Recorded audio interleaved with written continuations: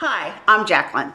One of my very favorite things to paint is an abstracted landscape. And today I am going to show you how to make an abstracted landscape with your gel press plate. So the paper I'm working on for this print is this American Masters um, printmaking paper, which is uh, made and marketed by Utrecht. As I'm putting this on, I'm concerned mostly about the top of the plate for coverage because the bottom will be covered up uh, with the mountains. We're gonna layer the colors on here. So I'm gonna go ahead and print this.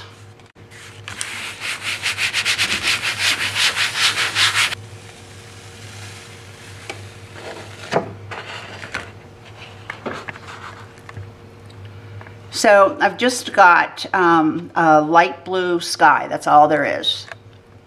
So now the next print is actually going to be the sky. I think cobalt blue or phthalo blue, one of the two, make the best looking skies. So now I've got some of the spider web stuff like you buy at Halloween. And I'm going to use it to make some clouds in the sky. I I've pulled it apart and made it really wispy so it was more cloud-like. So I'm ready to print. And with the Baren, I try to go do circular strokes. And I try to go over everything at least twice. Putting more pressure on the area where I think the clouds are because that's going to be a little bit harder to print. Okay, let's see what we got here. Oh yeah, that worked pretty well. So I've got a piece of just plain old copier paper here and I'm going to tear a mask for the mountains. And you have to kind of think in the opposite way because we're going to build this from the top mountain to the lowest mountain. Um, kind of kind of look at my print here to see, um, I want the mountain to come up to about here where it's going to nip the clouds a little bit.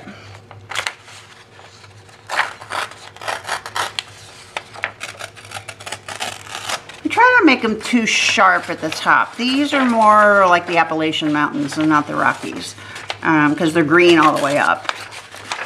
And those are a softer mountain range.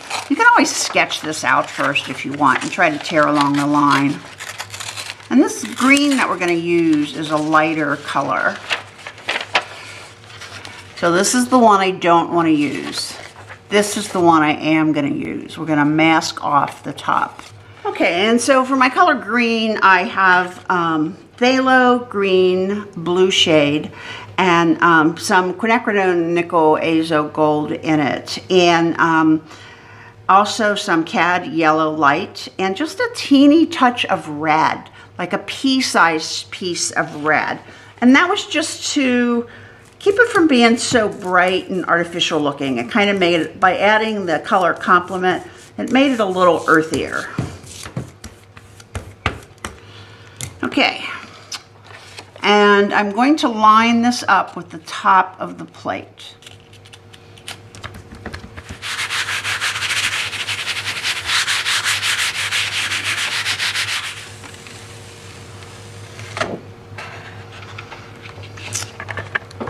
Yes, and it just nips that cloud a little bit. So um, makes it feel like the cloud is grounded a bit. It's not so um, just hanging out up there all by itself.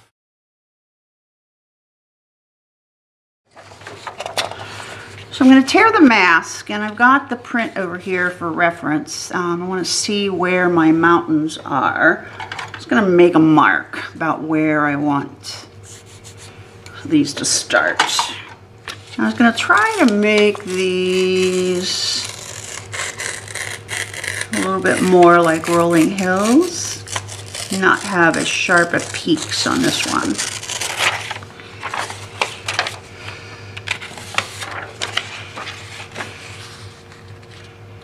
So yes, that will work. Okay, so for this layer, we're using Sap Green Hue, and it's in addition to being mixed with the open gel, it also has just a little bit of um, quinacridone um, nickel azo gold in it. I wanted this one to be darker and a little earthier because the sun's not shining on it. And when the sun shines on stuff, it, it looks brighter. So I wanted that top mountain range to look brighter than this one. Okay, and I'm going to line it up on the top of the plate again.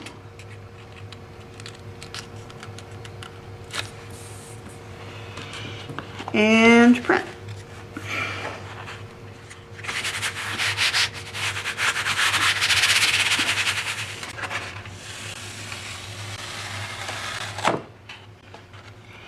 So yeah, that's looking better. For this layer, I want it to look like there's some vegetation growing on the ground or something. So I found this fuzzy yarn uh, in my studio and I thought, well, that could look like grass. So the colors I've got for this layer are, uh, again, Sap Green Hue, and I have mixed it almost equal parts of Sap Green Hue and um, Raw Sienna. And that makes it very uh, brownish. Okay, so I've got these little bitty pieces of the yarn here.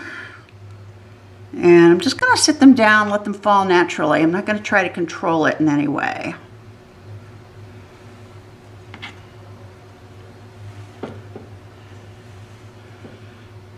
It to look like some brush or grass, weeds, just that there's something growing.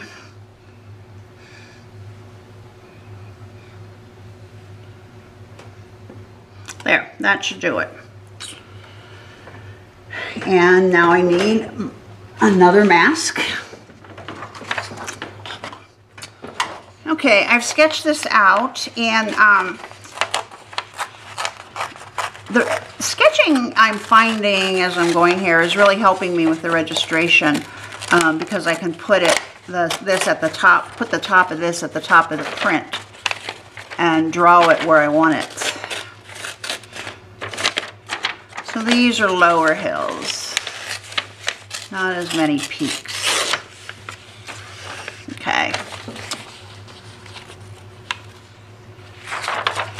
lining it up with the top of the plate.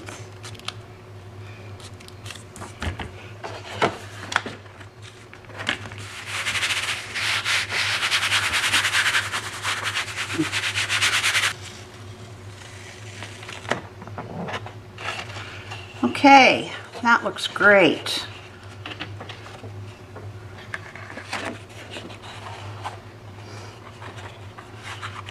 So here is the final print. Um, I'm going to zoom in here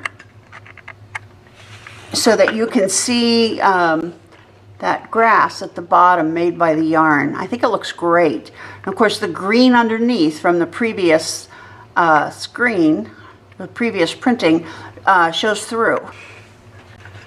You can see here, you can see the three different colors of green.